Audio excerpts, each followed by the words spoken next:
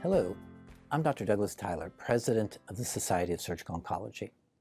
As we all work towards establishing new routines in the pandemic era, the Society has been working hard to ensure that you have access to valuable resources that highlight the collective wisdom of the Society's leaders, committee members, and guest faculty.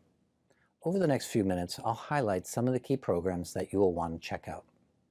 One of the best ways to know about the latest Society programs and news is through our app, SSO Mobile. The app gives you immediate access to educational programs, alerts about upcoming activities, and information about clinical guidelines as well as career opportunities. You can even download Annals of Surgical Oncology articles. I find the app to be easy to use and a great resource. You can download SSO Mobile through the Apple App Store or Google Play or scan the QR code on the screen. The Society of Surgical Oncology is known for exceptional educational programs.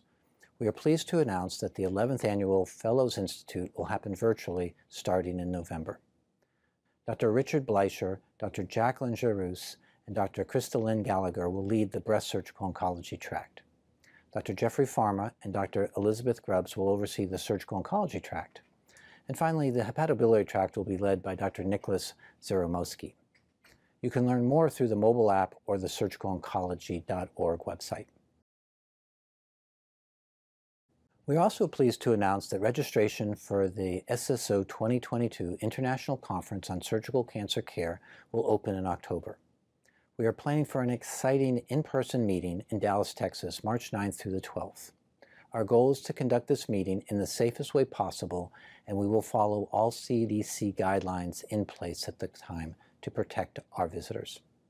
This year, we'll debut the SSO Hub, a dynamic new concept for education, industry engagement, and networking. We believe that the Hub concept will usher in a new approach to scientific meetings, and we invite you to experience it first at SSO 2022.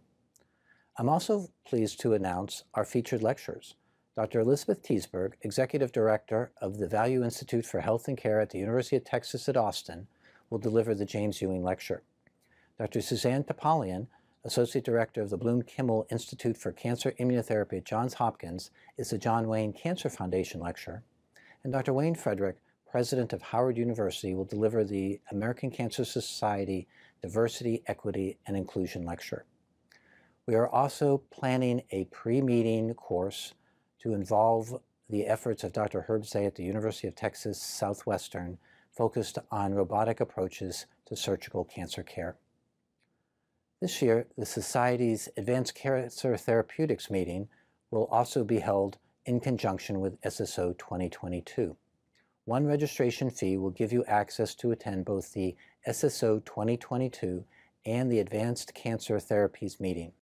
Watch the mobile app and your email for more information. Before I wrap up, I want to highlight a few of our ongoing initiatives. One such initiative is the SSO Virtual Tumor Boards. We started this series back in the spring of 2020 as a way of providing interactive digital programming during the pandemic.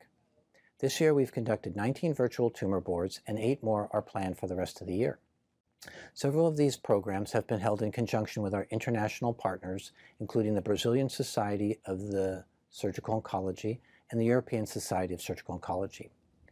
When you download the mobile app, you will receive registration alerts and you can visit the SSO's Learning Management System, ExpertEd at SSO, to see archives of these previous programs.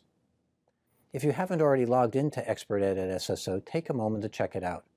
As an SSO member, you'll have access to over 70 educational programs, including virtual tumor boards, webinars, podcasts, Annals of Surgical Oncology CME, and archives of meeting sessions, all free of charge to members.